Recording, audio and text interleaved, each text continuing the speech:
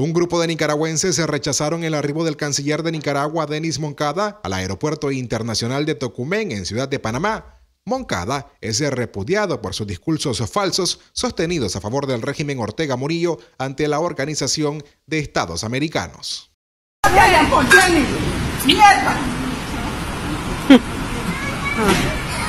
Chino aquí en el aeropuerto de Panamá con el sinvergüenza. ¡Viva!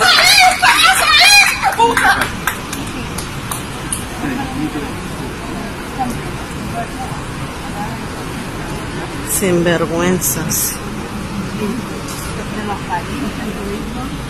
No hablo porque tengo tenía preso a alguien. Yo no tengo. Y los que tenía están muertos. No le debo ni mierda a esos puta. Hmm. Anda haciendo pactos con países africanos mierda, que tienen más guerra y hambre que Nicaragua. ¿Te viste dónde? De la Guinea y de Malawi. Debería haber quedado allá para que se muriera de ébola, maldito. Darío Noticias.